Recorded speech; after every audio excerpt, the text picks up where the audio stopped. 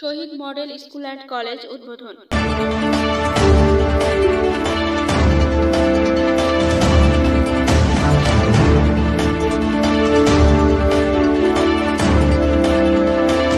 Shaheed model school and college উদ্বোধন। Report লিখে পড়ছি আমি মুনমুন আক্তার। পঁচিশ ডিসেম্বর দুই সকালে ঈশ্বরদীর হাসপাতাল রোড, হান্নানের মোড়ে শহীদ ক্যাডেট একাডেমির অঙ্গ প্রতিষ্ঠান Shaheed model school and college আনুষ্ঠানিকভাবে উদ্বোধন করা হয়েছে। এতে প্রধান অতিথি হিসেবে উপস্থিত ছিলেন পাবনা চার আসনে জাতীয় সংসদ সদস্য বীর মুক্তিযোদ্ধা আলহাজ নুরুজ্জামান বিশ্বাস। বিশেষ অতিথি হিসেবে উপস্থিত ছিলেন ঈশ্বরদী উপজেলার চেয়ারম্যান বীর মুক্তিযোদ্ধা আলহাজ নায়াব আলী বিশ্বাস ঈশ্বরদী পৌরসভার কাউন্সিলর আব্দুল লতিফ মিন্টু ঈশ্বরদী প্রেস ক্লাবের সভাপতি মোস্তাক আহমেদ কিরণ ঈশ্বরদী প্রেস ক্লাবের সাবেক সভাপতি এস এম রাজা।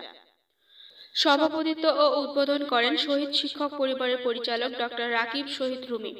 শুভেচ্ছা বক্তব্য রাখেন শহীদ ক্যাডেট একাডেমির প্রধান কার্যালয়ের অধ্যক্ষ ফয়সাল কবির সুমন।